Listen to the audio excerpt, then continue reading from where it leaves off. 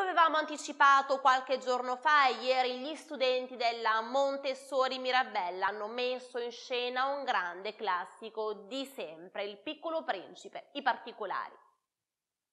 Era bellissimo e che voleva una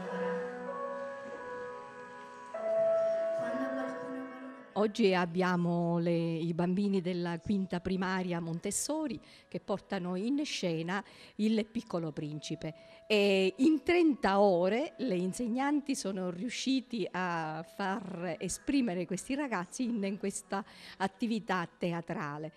Come vedete ci sono sia i cartelloni sia anche le, le, immagini, per cui è un lavoro che è stato fatto a 360 gradi, quindi sia sulla scrittura sia anche sulla produzione e sull'espressione dei ragazzi. Quindi è, secondo il nostro punto di vista, un elemento veramente importante per far socializzare i ragazzi, per relazionarsi con gli altri e quindi essere più partecipi anche in un futuro all'attività del nostro territorio storia. È stata una preparazione molto lunga, abbiamo iniziato addirittura a dicembre e per i bambini è stata una scoperta perché siamo partiti prima dalla conoscenza della storia del piccolo principe, un racconto che è piuttosto introspettivo e aiuta alla riflessione, a conoscere valori quali l'amicizia, l'amore, l'impegnarsi per qualcosa che veramente è importante. I bambini sono stati veramente bravissimi, hanno lavorato con gioia gioia, con entusiasmo,